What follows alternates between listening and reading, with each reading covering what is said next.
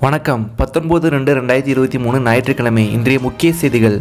திருவிடைமருதூர் அருகே தடுப்பு சுவர் கட்டும் பணியின் போது கலவை இயந்திரம் கவிழ்ந்து கல்லூரி மாணவர் உயிரிழந்தார். அவரது உடல் பல மணி நேரம் தீவிர முயற்சிக்கு பிறகு தீயணைப்புத் துறையினர் மீட்டனர். ஆனந்தூர் ஜல்லிக்கட்டு போட்டியில் முன்னாள் அமைச்சர் சி. விஜயபாஸ்கரின் காளைகள் சிறப்பு பரிசு பெற்றது.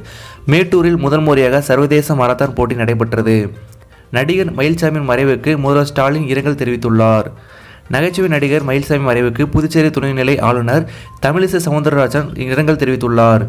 இந்தியாவின் முதல் ஹைபிரிட் ராக்கெட் நூற்றி ஐம்பது சிறீரக செயற்கைக்கோளுடன் விண்ணில் ஏவப்பட்டது. மகா சிவராத்திரி விழாவை முன்னிட்டு பெருவுடையாருக்கு ஐந்து கால பூஜைகள் நடைபெற்றன.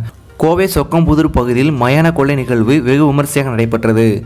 மேட்டூர் அணைக்கு நீர்வரத்து தொள்ளாயிரத்தி தொண்ணூற்றி எட்டு கண்ணாடியாக நீடிக்கிறது. பிஎட் சிறப்பு கல்வி கணினி வழி நுழைவுத் தேர்வு பிப்ரவரி இருபத்தாறாம் தேதிக்கு ஒத்திவைக்கப்பட்டுள்ளது என்று தமிழ்நாடு திறந்தநிலை பல்கலைக்கழகம் அறிவித்துள்ளது. தமிழக மீனவர்களை சுட்டுக்கொண்ட கர்நாடக வனத்துறை மீது நடவடிக்கை எடுக்க வேண்டும் என்று தேமுதிக தலைவர் விஜயகாந்த் வலியுறுத்தியுள்ளார். திமுக எப்போதும் பொய்யான வாக்குறுதிகளை அளித்து வருகிறது என்று முன்னாள் அமைச்சர் டி. ஜெயக்குமார் கூறினார். சென்னையில் போதைப்பொருட்கள் விற்பனை தொடர்பாக வெள்ளிக்கிழமை ஒரே நாளில் இருபத்தி ஒன்பது பேர் கைது செய்யப்பட்டனர்.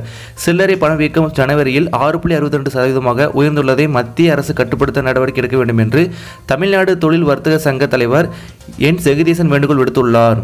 வண்டலூர் கிரசன் புத்தக தொழில் வளர்ச்சி கவுன்சிலில் மத்திய அரசின் கடலில் இறால் மீன் வளர்ப்பு மேம்பாட்டு நிறுவனம் ஆகியவை இடையே புரிந்துணர்வு ஒப்பந்தம் சனிக்கிழமை கையொப்பமானது. கொச்சிவேலியிலிருந்து கொராக்பூர் செல்லும் ராப்தி சாகர் அதிவிரைவு ரயில் ஞாயிற்றுக்கிழமை பிப்ரவரி பத்தொன்பதாம் தேதி தாமதமாக புறப்படும் என்று அறிவிக்கப்பட்டுள்ளது.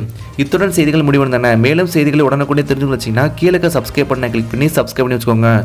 அடுத்த ஒரு முக்கியமான பதிவு சந்திக்கலாம். வணக்கம்.